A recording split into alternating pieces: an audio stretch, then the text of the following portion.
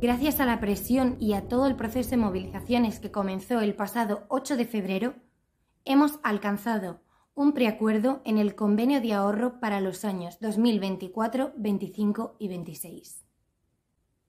Las mejoras que se han conseguido son una subida acumulada en tablas entre un 11,40 y un 14,40% según el IPC, un incremento mínimo del 11% en los próximos tres años, con lo que quedaría una subida del 5% en el año 2024, el 3% en el año 2025 y otro 3% en 2026.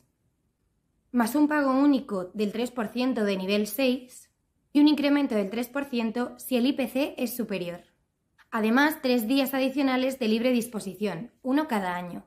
Se garantiza la aplicación de los incrementos de convenio para toda la plantilla sin verse afectados por adecuaciones progresivas, sin movilidad geográfica y sin recortes ni cesiones.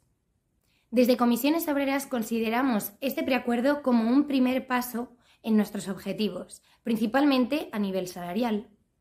Además, hay que recalcar que lo hemos conseguido sin ninguna cesión a la patronal.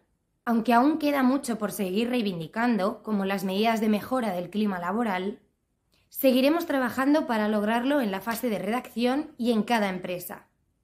De nuevo, queremos agradecer el apoyo de las plantillas en todo este arduo proceso.